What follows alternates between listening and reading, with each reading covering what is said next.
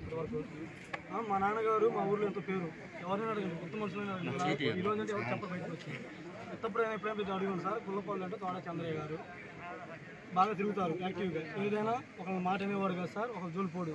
మన గవర్నమెంట్ ఉన్నా కూడా ఒక్కరిని కూడా చెయ్యి చూపలు. అందరికీ ఉండరు ఏ పథకాలు ఉన్నా ఒకరికి ఇవ్వకుండా ఒకరికి కాకుండా ఇప్పుడు లేదు ఏ పదవి ఏ పదవి గురించి ఇప్పుడు దాకా ఆశించలేదు. మా నాన్నగారు ఎప్పుడున్నా పార్టీ కోసం పనిచేశాడు. ఈ రోజు కూడా సరే ఇల్లు కట్టించుకోలేదు సార్ మేము.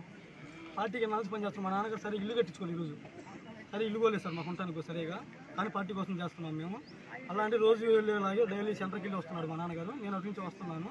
వస్తుంటే బైక్ పై వెళ్ళేవాడిని. కర్రలతో బాగి ముందు కింద పడేసి వాడు ఎంపీపీ అనే చింతారా శివరామయ్య వాడు ఉన్న ఇంటికున్న పంచ తీసి మా నాన్నగారి కాళ్ళకు కట్టి మళ్ళీ లేస్తే ఎదురు తిరుగుతాడని పంచ గట్టి కింద పడేసి వాడు కొడుకు ఇద్దరు చింతా శివరామయ్య వాడు కొడుకు ఆదినారాయణ చింతా శ్రీనివాసరావు.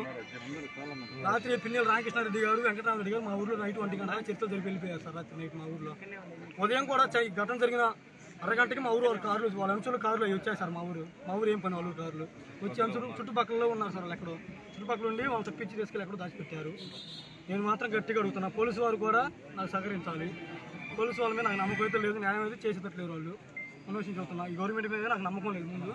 ఏదైనా సరే దీని వరకు మాత్రం మీరే చూసుకోవాల్సిందిగా నేను కోరుతున్నాను సార్. తోట వేరే ఉంది కదా సార్ నేను నర్సాపేట పార్టీ టీఎన్ఎస్